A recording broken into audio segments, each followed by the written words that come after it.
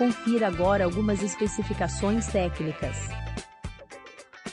Confira agora algumas características do produto.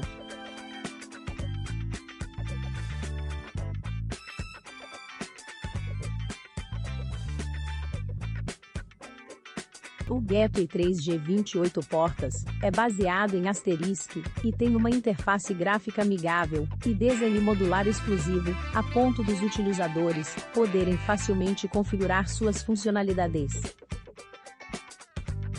O Gateway 3G 28 portas possui OT Swap para os cartões SIM e módulos e é compatível com o Asterisk, Elastics, 3CX, FreeSwitch e qualquer outro SIP server.